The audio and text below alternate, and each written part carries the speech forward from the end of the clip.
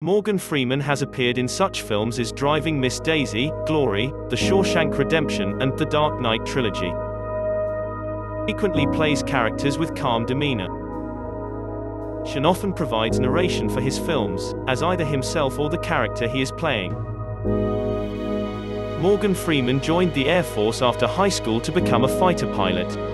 He later realized it wasn't what he'd wanted. After years of small parts and limited success, he's now one of Hollywood's most respected stars.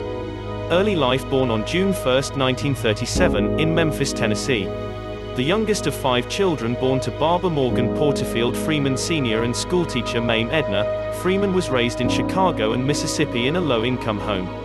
Not long after he was born, Morgan's parents, like so many other African Americans struggling under the pressures of the Jim Crow South, relocated to Chicago to find work.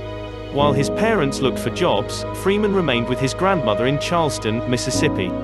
At the age of six, Freeman's grandmother died and he moved north to be with his mother. They later moved to Tennessee and eventually back to Mississippi, where Mayme Edna settled her family in Greenwood. It was by chance that he got into acting. He was in junior high school. For punishment for pulling out a chair from underneath a girl he had a crush on, Freeman was ordered to participate in the school's drama competition. To his surprise, and probably school administrators, the 12-year-old proved to be an immediate natural on the stage, taking top honors. But while Freeman loved to act, flying, in particular the idea of being a fighter pilot, was in his heart of hearts. Upon graduating high school in 1955, Morgan turned down a drama scholarship and joined the U.S. Air Force. Freeman was relegated to on-the-ground activity as a mechanic and radar technician. He also realized that he didn't want to be shooting down other people. I had this very clear epiphany, he told AARP magazine. You are not in love with this, you are in love with the idea of this. In 1959, Freeman left the Air Force and tried his fortunes out west. He moved to Hollywood to see if he could make it as an actor. He took acting classes and struggled to find work. In the early 60s, he moved to New York City, where more petty day jobs and nighttime auditions followed. It was 67, the same year he married Jeanette Bradshaw. Freeman's big career break came when he landed a part in an all-African-American Broadway production, Hello, Dolly, starring Pearl Bailey. The national exposure followed in 1971 when he appeared regularly on The Electric Company, a public television-produced children's TV show that focused on teaching kids how to read. Television proved to be a grueling and demanding life. Despite some stage work, including a Tony-nominated performance. The Mighty Gents in the late 1970s, Freeman couldn't seem to break into movies like he wanted. When The Electric Company was cancelled in 1976, Freeman saw himself staring at a career that was far from grounded. For much of the rest of the decade, Freeman took on roles that earned him some acclaim, but not the big, powerful jobs that would garner a list attention.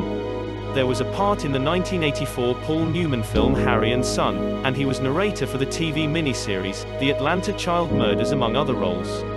By 87, Freeman's fortunes changed when he was cast in the film Street Smart.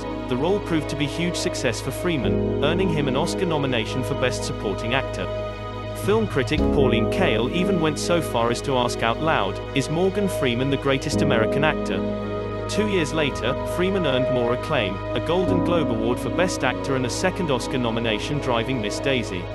That same year he also starred in Edward Zwick's critically acclaimed Glory, a drama about the 54th Massachusetts Infantry Regiment, which was one of the first recognized African American units in the Civil War.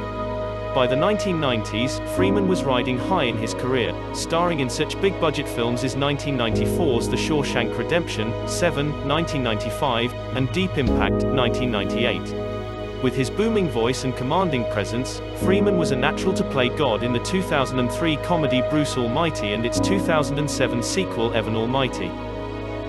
Recently, Freeman appeared in Red 2010, a surprise box office hit. He narrated the Conan the Barbarian 2011 and capped the Batman trilogy with The Dark Knight Rises.